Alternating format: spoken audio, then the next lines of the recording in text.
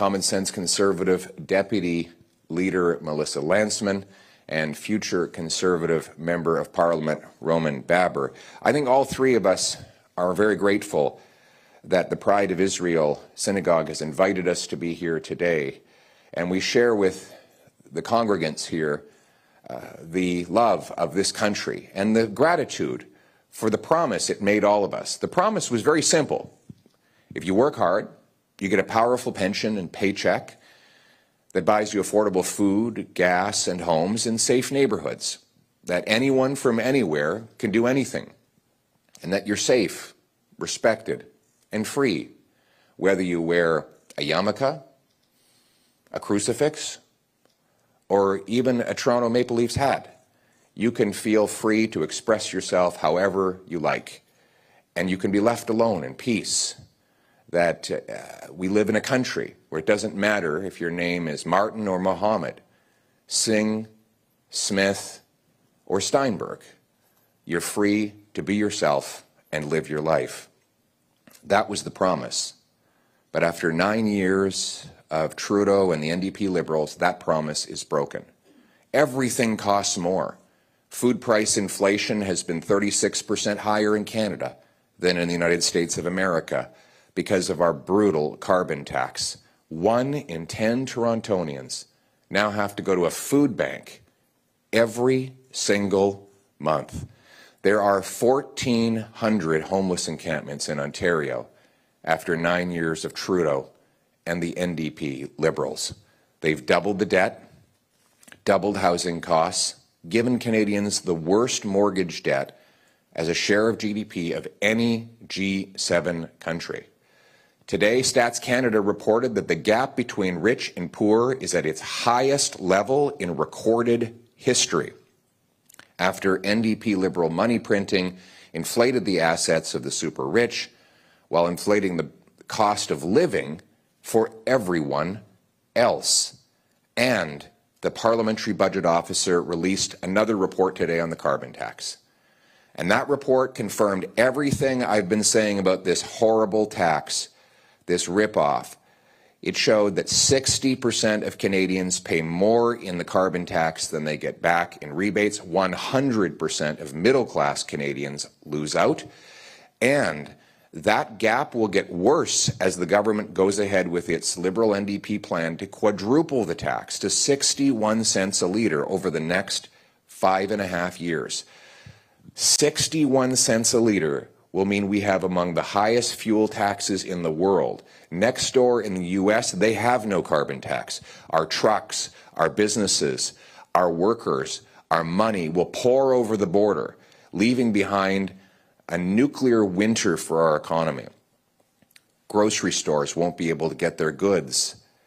Factories won't be able to get their parts. Workers won't be able to get their paychecks as trucks can no longer afford to fuel the transportation of the essentials of life. And that will mean desperate poverty for countless people. That's why we need a carbon tax election where Canadians can choose between a 61 cent a litre carbon tax or axing the carbon tax altogether. An NDP liberal costly carbon tax coalition that tax your food, punish your work, take your money, double your housing costs, and unleash crime and chaos, or common sense conservatives who will axe the tax, build the homes, fix the budget, and stop the crime. The worst crime of all is the crimes that have been targeting our Jewish communities.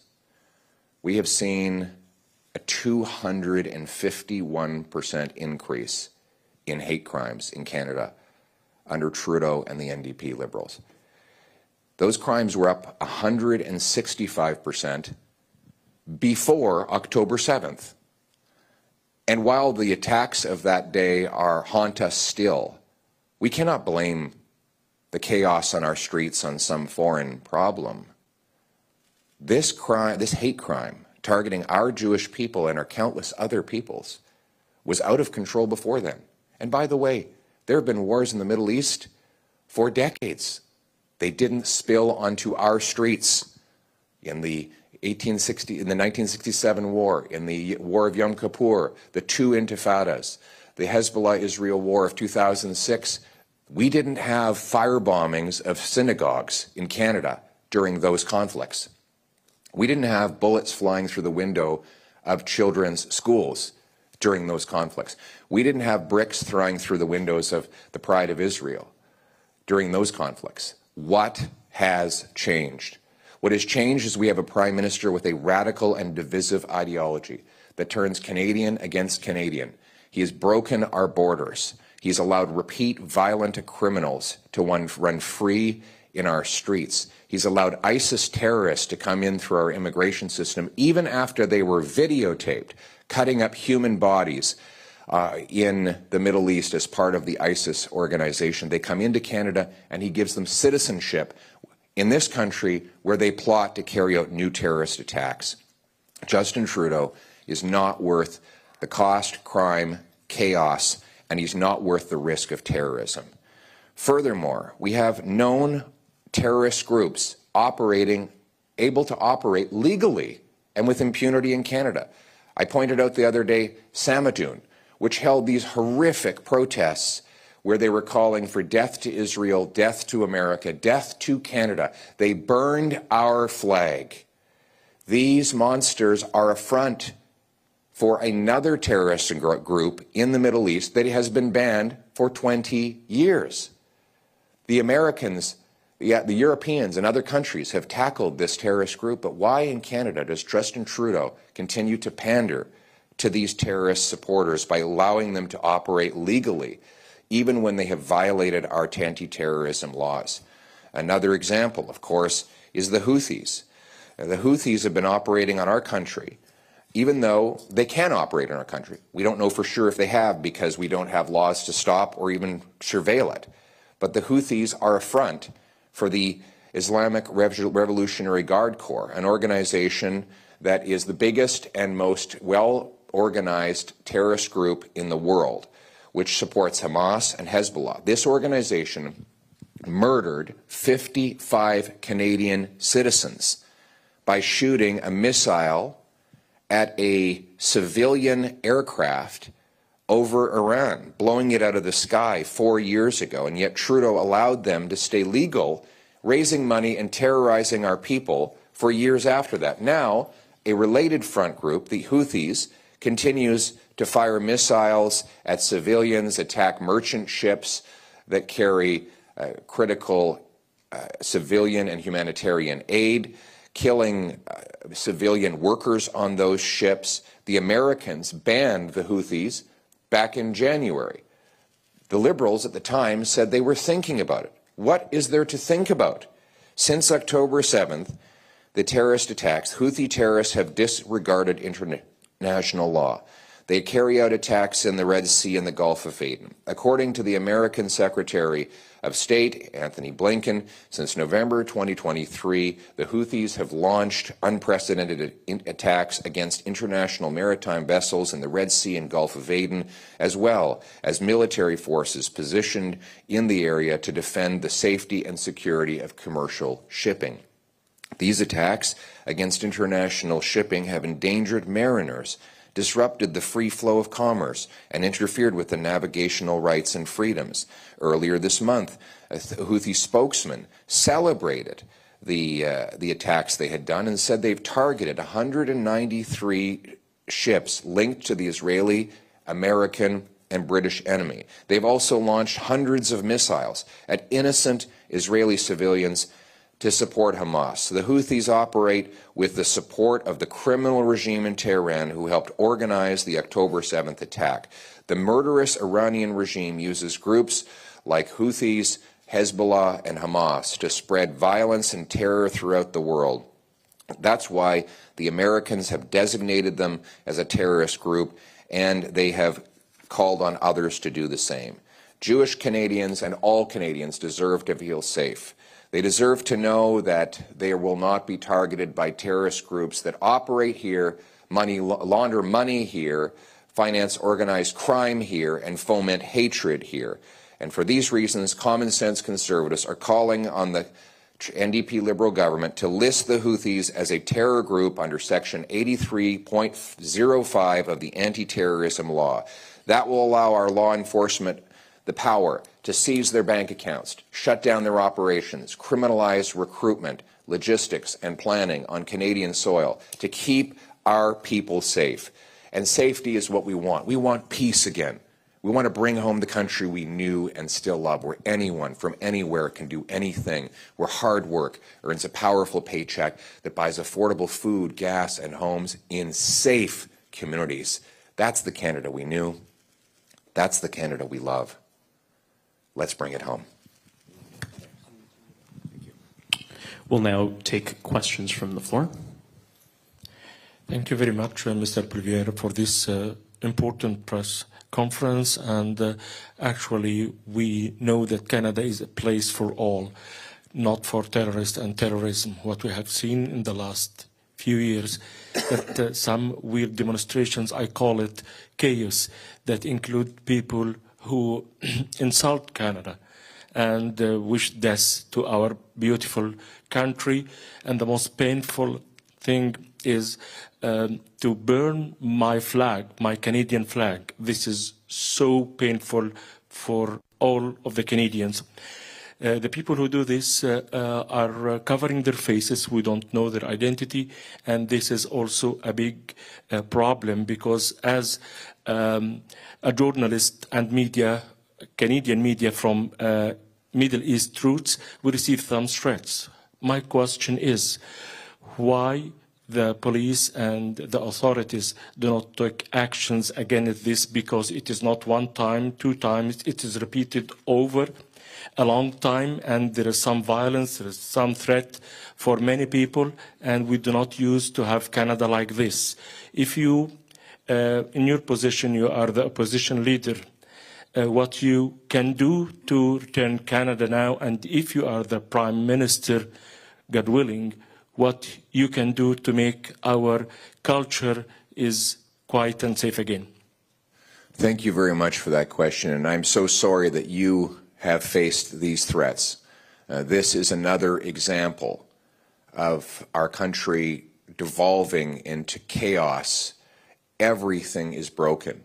When we have patriotic journalists facing threats of violence from terrorist sympathizers, who now operate with impunity after nine years of Trudeau and the NDP and their radical, divisive, dangerous ideologies. The police need to enforce existing laws and arrest anyone who's making these threats against journalists. We need to lock up violent offenders and keep them behind their bars with jail and not bail, with mandatory jail time for serious violent offenses. We need to ban the terrorist organizations that have been fomenting this hate and these attacks, Samidoun, Houthis, and others. Samidoun was on our streets two or three days ago celebrating the genocide, the biggest attack on Jews since the Holocaust, burning our flags, organizing hatred, and making overt eh, calls for, for violence against our people. Samidoun, the Houthis, and their, their organizers should be arrested. They should be put behind bars. We should secure our borders to keep terrorists and, and those who work with them out of our country and our, keep, keep our country safe again. And we need a, a prime minister who will unite our people and bind up the wounds of the nation by bringing home the country that we knew and still love. Thank you. Next question. Um, Ghani from Epoch Times Persian. Uh, Mr. Poilievre, uh, now IRGC is listed as a terrorist organization. What is your plan in the future as um, like a Poilievre's uh, government plan to take some actions? Looks like just listing IRGC as a terrorist organization is not enough. Um, what is your plan to just take some more actions specifically for Iranian community here to feel safe, that they're living in a safe environment without interference from um, Islamic Republic? And also, um, what actions can be taken to immediately deport some those who have ties with Islamic Republic? Thank you. Great question. And first of all, thank you to the courageous Persian population in Canada who have consistently stood up against the regime in Tehran in massive demonstrations, which I have been honored to attend. The Persian community, like the Jewish community, is under attack. The IRGC and 700 Iranian agents are operating with impunity on our soil, threatening, harassing, abusing our Persian and Jewish people here in Canada. And it's time for the RCMP and the police to track down these agents, charge them, and if they are not citizens or permanent residents, they need to be expelled from our country. We see top officials from the Iranian government that have been seen in gyms and living in mansions and enjoying the plunder that they stole from the Iranian people here in our country. They should be expelled from our country. We should issue deportations on them because they are terrorizing our Persian people here in Canada. We must make sure that IRGC cannot set up a proxy organization like they always do. That's what the Tehran does. The Tehran doesn't do it directly. They always get a proxy to do it. And so the Houthis could become that proxy in the future now that the IRGC is finally banned. We need to ban the Houthis. We need to quickly set up the foreign influence registry that the liberals have been dragging their feet on. And that way we can expose anyone who's working for a foreign dictatorship, jail them if they break the law, expel them if they are harassing our population. We will once and then make this a safe place for all Canadians, Persian Canadians, Jewish Canadians, Canadians of all backgrounds. Thank you. Thank you. Next question. Hi, I'm Mr. Uh, Poilievre. Good morning. I just wanted to pivot to, to, something else. You voted in favor of the Bloc Québécois motion to boost uh, OAS for some seniors. Is this something your party will do uh, if elected? And I could just ask you to answer in English and French. Thank you. Thank you. After nine years of Trudeau and the NDP Liberals, seniors struggle to eat, heat, and house themselves. The rent has doubled. Mortgage payments have doubled. Food price inflation has been the worst in 40 years, and those prices have risen 36% faster in Canada than in the U.S., proving it's not a global phenomenon that's causing the higher grocery prices. It's here at home. We know that the carbon tax is principally responsible for the higher food prices. Of course, if you tax the farmer who grows the food and the trucker who ships the food, you tax all who buy the food. So we're of the view that seniors need more purchasing power. And that's what we signaled with that vote. There are other ways to do it, though. For example, by axing the carbon tax and lowering income tax, you can allow seniors to keep more of their pension and their retirement income and make those dollars go further. So as we develop our platform, we will bring forward a low tax plan that allows seniors to have more powerful pensions and to bring home the affordable prices that will allow them to have a dignified retirement, which the people who built our country deserve more than anyone else. Thank you. Thank you. Next question. Ms. Poilievre, good morning. Uh, David Menzies with Rebel News. Um, given the immigration minister's shocking comments about the lack of security vetting for migrants, should Canada suspend bringing any more refugees from Gaza? We can't let anyone in unless they have been thoroughly vetted.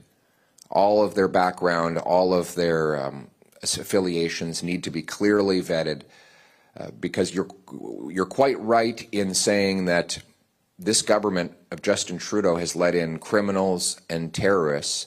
In the case of, uh, think of this case of this apparent ISIS fighter who appears to have been in a video cutting up a human body on a crucifix in the Middle East.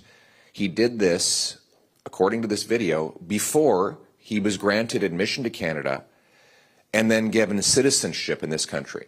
And then finally, we had to arrest him because the French reached out and said they had intelligence that he was about to carry out a massive terrorist attack here in the greater Toronto area. And then there was a second terrorist who got into this, this country and then ultimately was preparing an attack on Jews from Canada to go to New York where he was going to kill uh, the Jewish population there. Justin Trudeau has lost control of our borders. His radical ideology, his total incompetence, and his appalling border policies are dangerous to the country.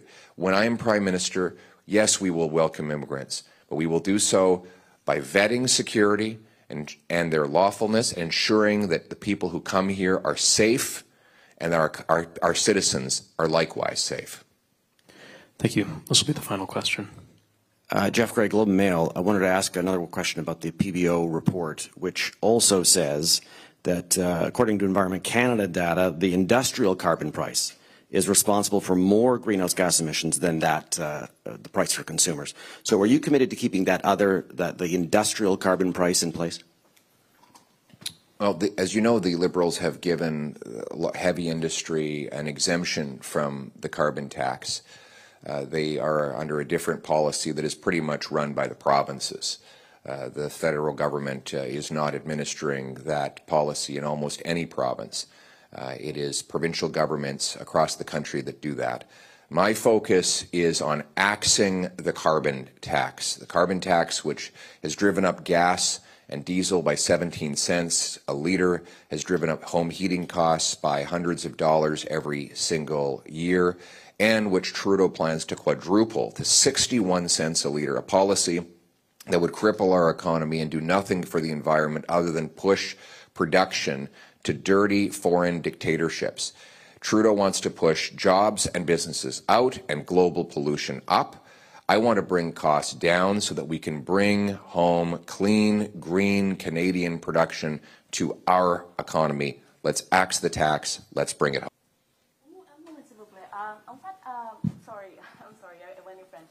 Wanted to ask you about involuntary treatment. Uh, in Ontario, this is something municipalities are calling for. Uh, the big city mayors, they are, um, they started a motion on this, and they are debating and updating the Healthcare Act to uh, to actually implement um, involuntary treatment. I know in the past you said you were open to it, but it, you, you, you needed more time to learn about it. So, um, where do you currently stand on this? Thank you very much. Great question. Uh, we just uh, heard testimony from the parents of a beautiful young girl named Brianna from British Columbia who uh, the authorities released from a psychiatric hospital despite the fact that her parents had begged them to keep her in treatment. As a, she had stabbed her hand with a pencil. She was clearly a very big danger to herself. The system released her offered, of course, crack pipes and other drug paraphernalia for her to safely use drugs. She ended up in a homeless encampment where she died of an overdose, a teenager. There's no question in my mind that she should have been in mandatory, involuntary, psychiatric, and substance abuse treatment rather than in a homeless encampment in a tent. So I believe for, for children and for prisoners who are behind bars, there should be mandatory drug treatment when they are um, when they when they are found to be incapable of making decisions for themselves. Uh, for adults, again, I, am still doing a lot of research on how that would work. Uh, but what I what I will say is we need to defund the unsafe government supply of drugs that the Trudeau and the NDP regimes are pushing on the population. We need to ban hard substances, start to prosecute drug criminals, scan the sh shipping containers to stop illegal drugs and guns from coming in, and treat addiction with rehab and recovery so that we can bring our loved ones home drug free. Thank you very much. Thank you. Defense Minister Bill Blair told the Star yesterday that nuclear strikes on facilities, or strikes on nuclear facilities. Changed his mind. Contrary to the law of armed conflict. What is your response to that? He changed his mind today. You have to look at his flip flop today in committee. So, well, I've already stated my stance multiple times, but he, you should just note that uh, yesterday the liberals were saying that they had no problem with Iran, a, a, a genocidal, unstable, terrorist regime that had killed 55 Canadian citizens and is threatened to wipe Israel and America off the map. The Liberals said they had no problem with that country and that dictatorship getting nuclear weapons.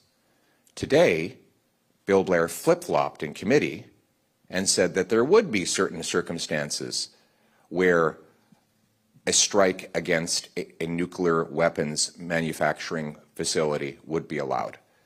So you have to ask Bill Blair where he stands because he keeps changing his mind every single day. Uh, that's why we cannot trust Justin Trudeau and the NDP Liberals. They allowed the IRGC to remain legal in Canada for four years after it murdered 55 of our Canadian citizens. They allow 700 IRGC terrorist agents to, to terrorize our streets here in Canada. And as of yesterday, we're of the view that that unstable terrorist regime should be allowed to develop nuclear weapons that could kill millions of people. This is an example of just how dangerous and radical the NDP Liberal government has become. Thank you very much. Thank you so much.